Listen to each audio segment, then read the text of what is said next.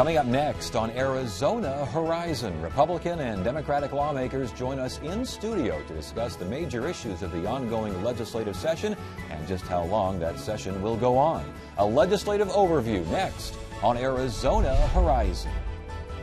Arizona Horizon is made possible by contributions from the Friends of Eight, members of your Arizona PBS station. Thank you.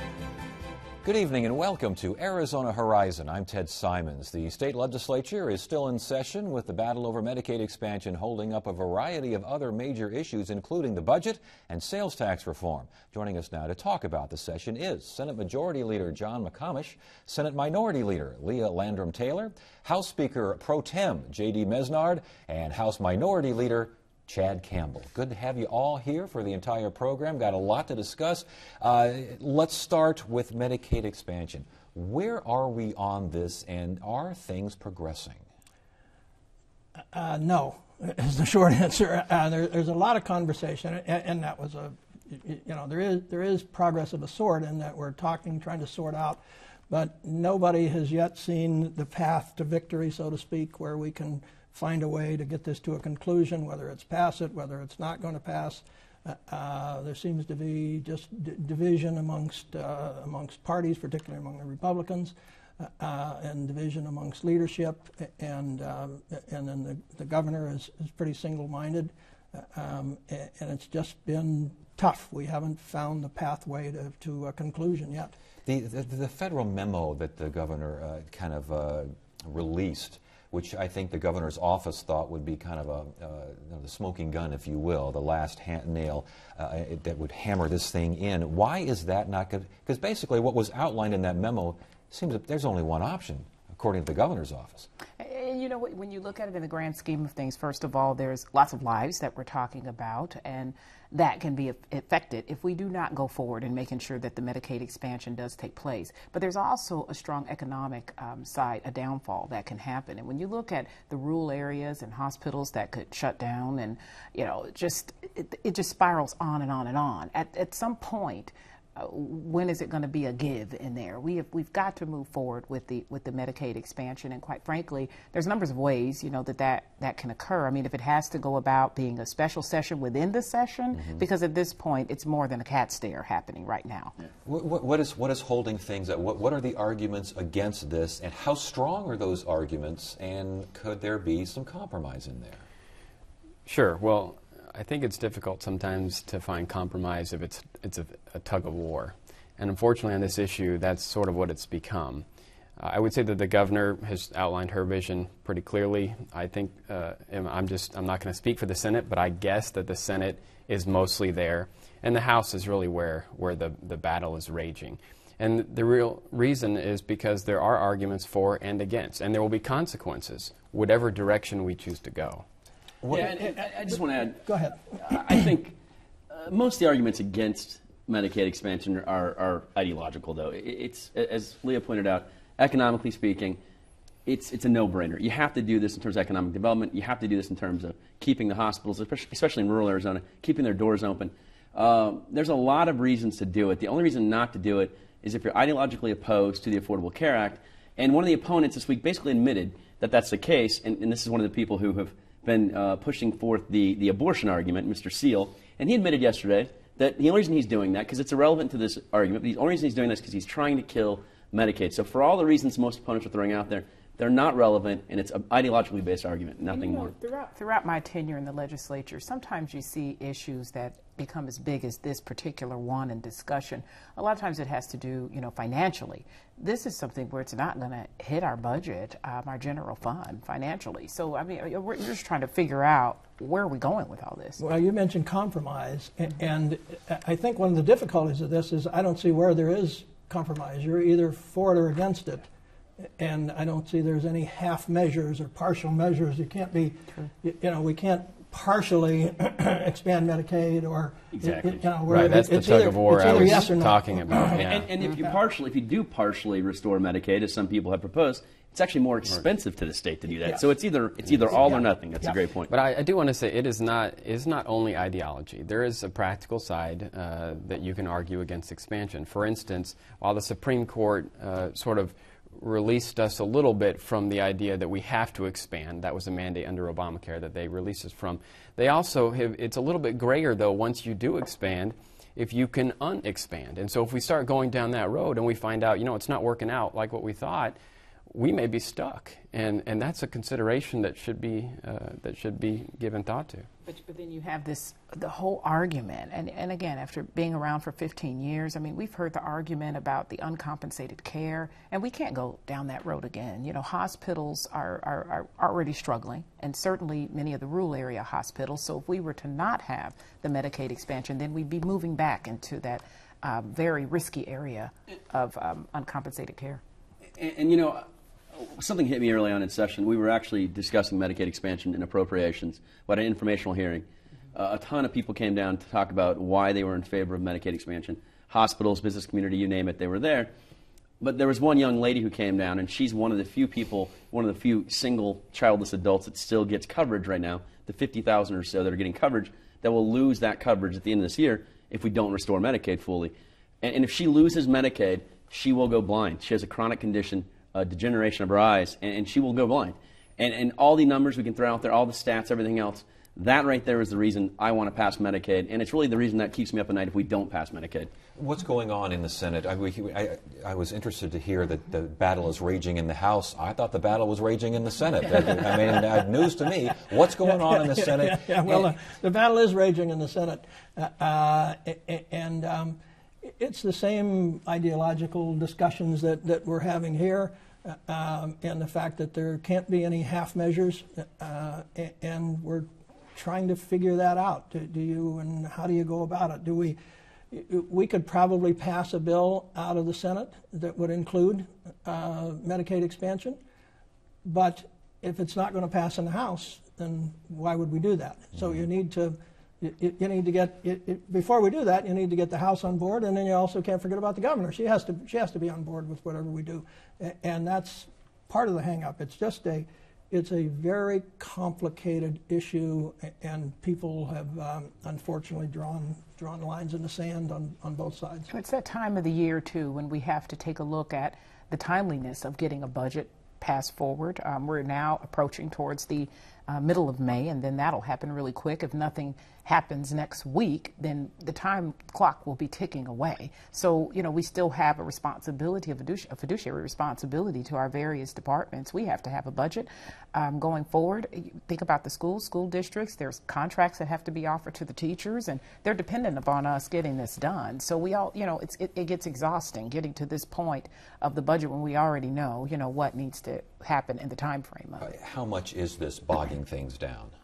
Oh, it's the reason the session is bogged down. And, and I'd say, in some ways, rightly so, in that this is probably one of the biggest issues we've faced in some time and will face uh, for the next several years. And so, yes, we're in May, and I know we all want to be done with session, but given the magnitude of the issue, we need to make sure it is fully vetted, it is fully discussed, and that we come up with something that makes sense. Is there, uh, you mentioned the idea of, of unsecuring this or getting out of something that may not be where. What are the other arguments against sure. going into this agreement? Well, one thing that gets overlooked is that we're, we're, talking really about two things that have been combined into one. And you have one, on the one hand, expansion, the idea of who is going to be covered. On the other hand, you have the mechanism for paying for it. And that, that hasn't been discussed a lot, but there is an assessment on hop- hospitals that has been proposed. Um, and and there's some controversy with that because some would consider that a tax increase. And so, in addition to the phil- philosophy of whether or not you want to expand, it's, well, do I want to support a new tax? And if you're against that, then now these two issues have collided. You throw abortion in there, and suddenly it's one big convoluted mess. You can call it a fee, you can call it a tax, you can call it whatever you want. But I want to point out the hospitals are saying, put this fee on us. It's not like you're, you're forcing the hospitals to impose this fee. The hospitals want to pay this fee because this fee is going to more than pay for itself. By paying that fee, they're going to get the, the drawdown from the federal government, the match, and they're going to make that money back, and it's going to lower their uncompensated care costs. So you can we, call it a tax, we but should the clarify. People are going to be paying. I agree that most hospitals, most hospitals, not every hospital is there, um, most Almost hospitals are probably there. One. Yeah, because they, so. they would serve to benefit from it, and of course, we the question would be, you know, will they pass it on to consumers? Because if they do, well, then of course they're going to support it. But they've said they're they're not going to, and, and we can put some it's protections. It's prohibited in Brewer's language right now. It's prohibited from being passed on to the consumers, so the consumers are protected. So I think again, I, again, to me, that's an argument that doesn't hold much water for me. But it, from the start of this conversation, there was always a question: Is this a tax? Is this an assessment? If a tax, why does it not need a two-thirds vote? I mean, is this thing? You guys go ahead. Let's say you finally get a vote. You finally get a passed. Does it go directly to court because someone says it's a tax? raised, and you've raised another complicating That's issue. is, is it a what we call a 108, which requires a two-thirds vote, and uh, there are the same opinions, uh, very strong opinions on both sides of that. Uh, you'll get legal opinions that say absolutely it's a 108, you have to have two-thirds, and others say, oh no, no, we've done similar things to this before, and so it's not a 108. And um, I think at the end of the day, when something passes, it'll probably uh, probably end up end up in the courts as to whether it's a 108 or not. Well, and that's another That's- reason that's- some that- oppose it, is because in order to get around the 108 issue, uh, the mechanism being used is to say, okay, we're, we're not going to do the tax. We're going to let somebody else do the tax. And, and some folks in the legislature, including myself, with that particular aspect of this plan, find that uh, to be unacceptable. Well, that's why the hospitals or you know they're they're heavy duty stakeholders that are uh, a part of this, and that's why they were in the initial conversations about could, is this something that the hospitals could handle. Clearly, this would be the better better direction than the uncompensated care because then that would devastate um, the medical industry. Yeah, there's one, one more argument that, that uh, I don't think we've touched on, and that is the, the federal debt argument. That uh, um, if we do the expansion, and there's going to be uh, 1.6 billion dollars or whatever the number is, uh, uh, and that's money that the uh, adds to the 16 trillion that we're in federal debt, and we need to stop. It, it's not my argument, but it's it's one of the arguments. And- And when do- you know where does this stop? And this is where we're going to draw the line, and we're not. We're Let me respond to that, though, because I I know you haven't made that argument, but many of my colleagues in the House have on the GOP side. And I don't see them turning down money for border security from the federal government or money for federal highway dollars. Uh, this is the first time I've ever heard anybody voice concern about money coming to Arizona that's returning our tax investment we pay to D.C. If we don't take this money, our federal tax burden doesn't change, and our tax dollars that we pay to D.C. are going to start going to another state. Our tax dollars are going to be thrown away if we do not pursue Medicaid expansion. Last point on this. I, I, I understand the ideological and philosophical differences here and, and the rigidity that, that uh, promotes. However, is there, is there conversation, is there talk about what does, what does Arizona want? What do citizens want? We know what some lawmakers want. We know very loudly what they mm-hmm. want. Mm-hmm. But, but is there a concern? I may be against this philosophically, but most in the state are for it, and thus I need to maybe bend one way or the other. Right. And eh. you know, when it when it comes right down to it, you know, most of the people in Arizona they do want to make sure that there is, uh, you know, the medical care. And there's been a big, big concern about those who are um, uh, single adults, disabled individuals that really need to have good medical care. So, absolutely, the question is moving forward. And we've had, a, you know, a couple of votes that have went forward, you know, to the ballot where the voters have shown this is what is needed in order to have this. So, I, I think the voters have already spoken There- There, yes. there are dueling polls out there now, just to continue the complicated issue. I happen to think one, the one poll that shows that, that the people do want this, I happen to think that's uh, uh, more valid. Uh, but there is a dueling poll that shows particularly the, the um, uh, Republicans uh, don't want it. Um, I don't think that poll is uh, as valid as the first one, but uh, there are dueling polls. But we've had two past ballot initiatives that have went forward dealing with this issue, But and, we the- also and the had public went one more forward to say, yes. on the other side. We also had Prop 106, I think it was, on the other side that said, hey, w- w- that we, we have the right to be in control of our health care. Some look at this as giving up some of that control. And so there are, in addition to dueling polls, there are dueling propositions as well. And we should mention that again, we're talking about 133% uh, of poverty level, expanding that for childless Yes. adults, which would again trigger matching funds from the feds, which may or may not be there in the future, which is an argument regarding Another argument, yeah. the Yeah, but again, that's taken But- care of by, by the circuit breaker that, that Governor Brewer built into her proposal. That is taken care of as well. Right, but uh, when you get to that circuit breaker, who knows what happens, what the spillover. I under, uh, we got all that. I just want to make sure Yeah. we're kind of clarifying terms because I want to get into sales tax reform and TPT, which I would imagine most folks have no idea what it is or what it means. but this is another one that's, that you got some loggerheads going on down. Yes, well, there's two issues that are keeping us from a budget, and the one we just talked about, the Medicaid expansion. The other one is TPT. I think we're closer to a decision on that. TPT, and just for the viewers' uh, uh, benefit, it stands for uh, transaction privilege tax. So it's a privilege to, To pay, pay sales tax right. in, in the state of Arizona. nice name for a sales tax. yes, isn't it? yes, and we, we have them. I know more about this than I ever wanted to know. I spent my summer vacation in a, uh, on the governor's uh, task force to uh, uh, address this issue, and I think we're pretty close to uh, a really major reform bill.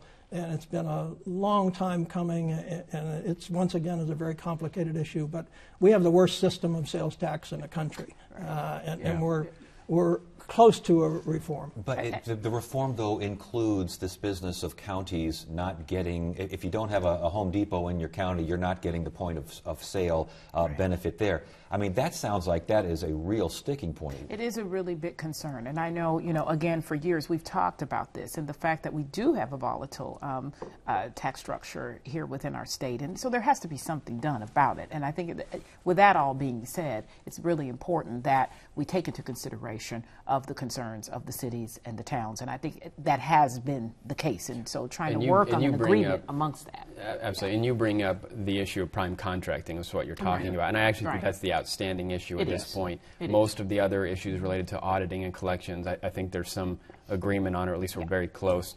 That is the sticking point. Various iterations have been proposed. They all have their weaknesses. I do think at the end of the day we're going to get something. This is actually something I think both of our caucuses agree Yeah. needs to be Mm-hmm. So. And I think we out of do agree on everything, some things. it, it- it hasn't, it hasn't been, you know, quite frankly, the sexier conversation Yeah. to talk Yeah. about. But certainly, it's been one that, if, out of all the conversations, I think it has has come up with more agreement. But it has been has been one where folks in Maricopa and folks in Fountain Hills and folks who live in some of these communities where Yeah. they don't have uh, Sure. those kinds of construction and lumber Agreed. yards, they're they're wondering who's going to pave the streets. Agreed. And I think I think that, that issue has to be resolved before this moves forward. Yeah. There's no way the original language around prime contracting will go forward. But you know, to, to your point, John, I mean, you, you talked about spending the summer learning about this, and, and I've done the same thing. I've been calling for sales tax reform for about five years. I actually called for this committee four years ago. Uh, I'm very excited about this, which I never thought I would say. I was very excited about tax policy in my life. But it's, we still have a long ways to go, and, and I want to see this thing move forward. But after this, we still have to continue to fix our sales tax code. We have way too many exemptions on the books, and our sales tax is way too high. If we close those exemptions out and lower our sales tax, we make our state much more competitive, much friendlier to small businesses, and a much more even playing field for everybody in the state. Uh, this is a good start, but we have we'll- to keep moving forward. We'll save that one for Yes. yeah for the next show. We'll talk about that next Yeah, show. the next the next go around. Um, let's get to CPS funding now. We had some emergency me- measure that went through. Uh, we've got uh, what 4.4 million that went through, or something along. Was it something, Something along, along those lines, Uh, yeah. uh, Obviously, there's the governor office wants I think uh, 50 million or so. Mm-hmm. Will we? Is is that a sticking point, or is that just a numbers kind of thing? No, I, I don't think it's a sticking point. I think it's a, in numbers. We may have some quibbling about the numbers, but I think uh, that uh, both the legislature, uh, at least Republican leadership, and the governor's office are very, very close uh, on um, what would, in essence, add another 150 employees to CPS. And so the only thing right now is exactly how much money will that be. But I think I think we're very close. Yeah, and those employees would, you know, specifically be towards caseworkers, which is something that's Yes. really needed. We already added the 50 in there, and one of the things we wanted to make sure of was as we move forward with the budget and the conversation, that was not forgotten. And when we had the, the task force, the governor's task force that I, I had the privilege of serving on, um, with that, there's there's lots of concern about making sure that we're doing something about this big bear of, of CPS. Well, and, and just to clarify, not all of the 50 million is for CPS alone. There are other services involved, and so some of those numbers may be negotiated. But I think John's right. I think uh, we're in agreement that CPS, in particular, caseworkers, that's certainly the top priority. And also, too, we have to not forget about prevention as a whole. And, and throughout the years of the, you know, the budget crisis that has went on over the last several years, we have to make sure that there are dollars put back uh, to make sure that there are preventative mechanisms so that people will not end up with their children in CPS. Other major headlines of the uh, legislative session so far uh, involve gun issues, and uh, we could we could spend an hour uh, talking about Yeah. those. But the most recent was this gun buyback Yeah. uh, bill. Thoughts on this? Why was this necessary? Uh, well, what the what it was was just a, an, a reform of where we already were in terms of gun buyback. There was a loophole that allowed cities uh, to do what they were doing for recently, what the city of Phoenix was doing, and uh, Destroying- so this, destroying the yeah, weapons. yeah, Yeah. So, so this uh, closed that loophole. It didn't didn't create a new policy. It closed the loophole in the current policy. So Yeah. I introduced a bill this session that would have allowed cities to do whatever they wanted to do with the gun. And, and uh, I mean, this is a mandate on local law enforcement. What we passed was the exact opposite of what I introduced, which forces the cities now to sell these guns back, put them back on the street. That's a mandate on local law enforcement, mandate on cities. We're telling them how to manage their own communities. But what's more amazing about this to me, if you think about this, if you're a gun owner, and I'm a gun owner, support the Second Amendment, have my whole life, but I think you need some common sense gun laws in the state, and we're heading the wrong way. If you think about this bill as it passed now, if I were to go to the city of Phoenix with my gun and say to the city, here's my weapon, I'm the owner, destroy it for me, they cannot destroy that weapon. That gun has more rights than the owner has in the state now. But wouldn't, and wouldn't that's, the, that's pure Wouldn't the argument be, though, if you want the gun destroyed, destroy it? It doesn't matter. The point is, we prevented a gun owner, a city to work together, whoever it may be. We're preventing a city and the cops in that city from making the best possible decision to protect their is, communities. And you know what? That's some of the argument that we, we hear on a regular basis, you know, on the other side of the aisle from us, in all due respect, as it relates to the federal government not jumping in and, and, and, and jumping into state business. Well, as the state, we jumped right into the, the cities and towns. And with that being the case, you know, this recent buyback, I, I heard stories of individuals that pulled up uh, that were involved in domestic violence situations and wanted to, you know, get up that the weapon out of you know reach and out of touch of, of, of having harm. So with that, you know, again, it's up to the cities and the towns. And so to come in as the state and say we're going to go ahead and regulate what the cities and towns do, that was a big concern. Not See- to mention all these other issues we have. And boy, that was a big, hard pressing one that we moved forward with. But, but last point on this again, why is something like this necessary? Well, I think whether it's necessary is in the eye of the beholder. There was a loophole that uh, a city was taking advantage of, and the idea was to close that loophole. And you're right, if, uh, if someone wants to destroy it, they can still destroy it. This hasn't really prevented an end from happening. It's just saying that, that law enforcement will uh, sell the gun uh, if, if it's brought to them. but It's not. I, I just I want to point something out though, because again, there's this weird mindset taking place in, in the political debate, not just here in Arizona, but in the country around weapons, and, and it, it's almost like people that are pro NRA are almost attaching personalities and their own character to weapons. Weapons are weapons. They're just like a toaster. They're just like a You mean you haven't named your They're weapon? an appliance. You don't want to know. The uh, so, but the point is, there, there's no need for this. And, and, and it's a good question. And, and with all due respect, I don't think you actually answered the question. There is no need for this. Because if you want to, if you want to keep your weapon, keep your weapon. If you want to have it destroyed, have it destroyed. But again, why are we telling people who have ownership of their guns what they can and can't do with it, and local law enforcement who know the streets that they patrol what they can and cannot do to keep their streets safe? We only have a few minutes left. And I, with this in mind, and I think this is a good uh, leaving on the gun issue, overall, the impression you think the legislative session so far, this go around, is leaving on voters. I mean, um, some would look at, at the gun buyback program as being a, a black mark on the, on the legislature, and they're- they're- there's a disconnect there, and they don't. We hear that a lot. But what do you think the impression the legislature is making on Arizona? Right? What do you think that is this session? Yeah, well, I think the impression that we're making is uh, uh, on the people is probably not fair in this regard, uh, and that is that we've got these huge issues that, that are incredibly complicated, and we haven't dealt with them yet, but, but we are. We're working on them. We'll get them done. In the meanwhile, we've gone about our business in a very professional way, very civilly.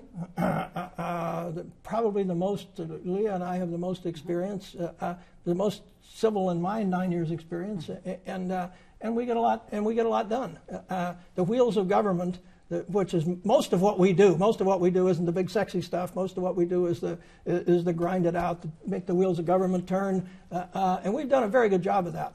But that's not the impression that people will have. What do you think the Right. impression And I- folks have? And you know what? Uh, there, there are so many different things of, of priorities that the public is concerned about.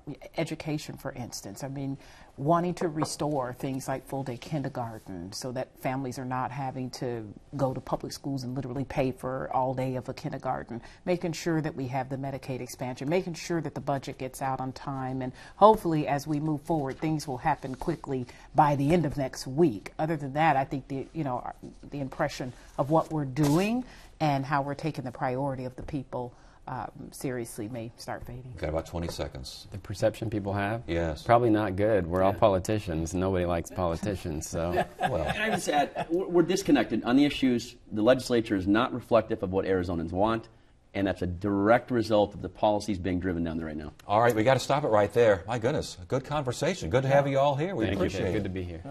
Friday on Arizona Horizon, it's a journalist roundtable. We'll get the latest on some of the issues we discussed tonight, including Medicaid expansion, and we'll look at another favorable court decision for a proposed tribal casino near Glendale. That's Friday on the Journalists Roundtable. That is it for now. I'm Ted Simons. Thank you so much for joining us. You have a great evening.